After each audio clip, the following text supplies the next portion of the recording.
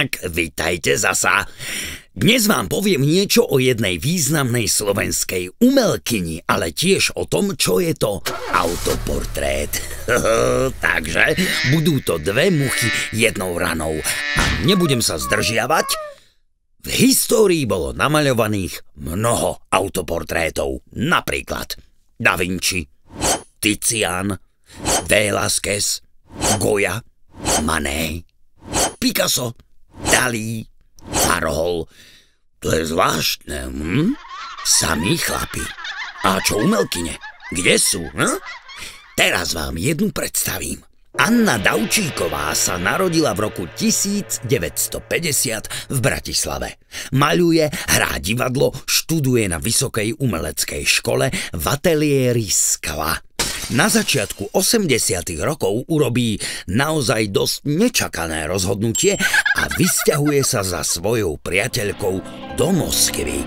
Spoznáva miestnych umelcov a vtedajšiu nezávislú scénu, zaujíma sa o básne, literatúru, film, divadlo a samozrejme o výtvarné umenie experimentuje s jeho podobami i rôznymi umeleckými prístupmi.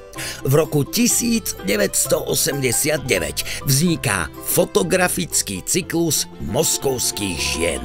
V rovnakom čase vytvára Anna Daučíková tiež jeden zaujímavý fotografický autoportrét. Na začiatku 90. rokov ju záujem o tému ženy a tiež o svoju vlastnú identitu privedie k otázkam feminizmu. Pracuje mimochodom pre feministický časopis v roku 1998 vytvára svoj druhý, tentokrát vtipný a ironický autoportrét.